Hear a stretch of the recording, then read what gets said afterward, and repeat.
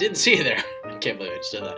What's up, everybody? Mike Heck from the Mike Show on Live 95.9, and this is a little kickoff of something I wanted to try out here a new video blog type series uh, chronicling and telling tales of raising children in 2018, and in my case, a four year old, soon to be five year old. So, for those who listen to the radio station uh, and, and check out these videos and stuff, I have a four year old, my wonderful wife and I, and his name is Grayson, and honestly, overall he is a he's an awesome kid. He's very happy, he's silly, he's funny, he sings and dances. He's just he's awesome.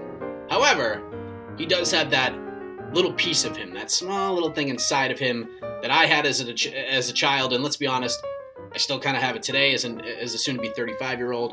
It is called stubbornness. Us Hecks, we have it in spades. It is in our bloodline. It is part of our DNA, and I can be a super stubborn person. And it's fair to say that this is a trait that I got from my dad, along with with the balding here. As you can see, the the shine.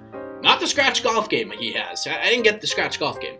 I got the stubbornness and the baldness. But anyways, Grayson is is just an awesome kid. However, he, as most kids are, is a habitual button pusher.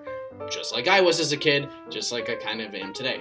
So, when I was a kid, pulling off the stunts that he was pulling off, my mother used to say to me, You know what, Michael? Someday you're gonna have a son, and he is gonna be just like you. I hope that happens. Well, you're welcome, world. Not that he's he's a much better kid than I was, but he does have that that stubbornness trait, that button pushing trait. Now, here's a specific example of what I'm talking about. So let's just say, as a parent, you have something in your house, and we all have these things that you don't want your kids to touch. Yet they are compelled to touch it. It's like the golden egg in the Indiana Jones movie. Indiana Jones knows that a giant ball of doom is coming his way if he grabs this thing. But does he grab it and replace it with a dusty, disgusting, dirty green sack?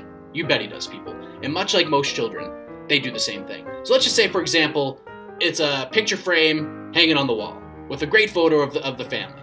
And he decides to grab a little step stool, grab a little thing, and pull this thing off the wall. And he shows you, oh, look at this picture, mommy and daddy. And then you, you politely ask him, can you, can you not grab that?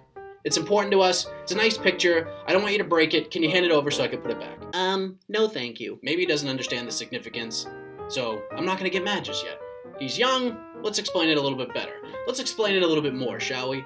Grayson buddy, can I please have it back? It's super important. It's mine. Now we're getting ourselves into this position where we have to make a decision. Do we give this kindness thing, this understanding thing another shot, or do we head into the world of yelling, putting the proverbial foot down? Now, most of the time, I, I feel like I'm a fair guy. I try to take the road less traveled, go right down the middle. And most of the time, stop! Stop, Daddy! I said no! Now, we have to get a little louder, don't we? We have to instill fear in a way.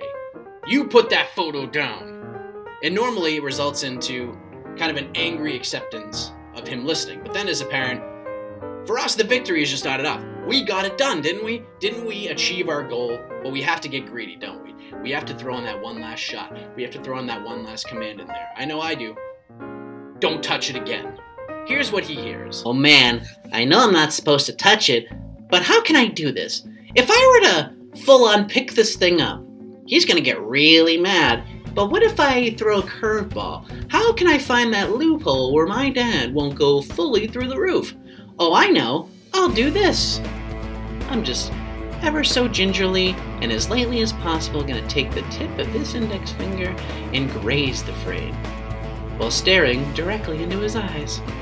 Okay, so far so good. Now for the coup de grace. I'm going to flash a little smirk at him. There we go. Now, as a parent, we have just hit another fork in the road. Do we just explode here? Do we yell and scream? I mean, he's testing us, right? They're testing us at this point. Or do we do what I normally do and just kind of laugh hysterically that he just he just did this. He he made me in this situation. And I can't tell you how many times I try to get mad, but then I just break out in laughter after the fact. Oh, you're gonna you got me again. Little man, you got me today. Kudos to you. You win this round, but the battle commences.